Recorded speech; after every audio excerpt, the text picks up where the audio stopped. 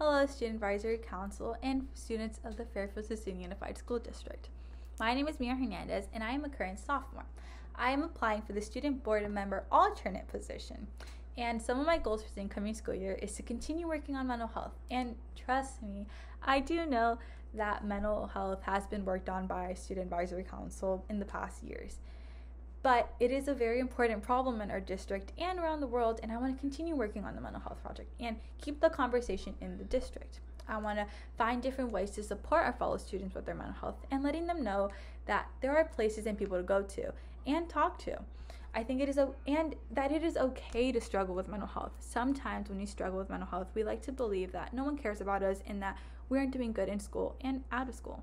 And that is a lie. And that's why I want to keep working on mental health to let students know that it is okay and that the district and student advisory council are working on different ways to help the problem and help make students feel better. I want to find out what has been helping mental health and what the schools are doing to support students with mental health problems. I want to know what they aren't doing and what is needed in schools to have the students feel like they are being supported. The second goal I have is creating a project to help identify the reasons why some students aren't graduating. I want to help find the factors that students are lacking in and create some solutions to help the students that are on, that are not on their way to graduating and help grow our graduation rate. I know this may sound impossible, but after researching and gathering student input from all the high schools and middle schools, I believe that this project could be accomplished or at least acknowledged in our district and start the conversation of it. I also want to continue with the large number of members.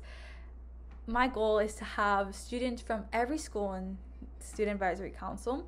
I want to have as many perspectives in anything we do and help solve some issues that schools have that I may not be aware of, that you may not be aware of, or that even the schools may not be aware of.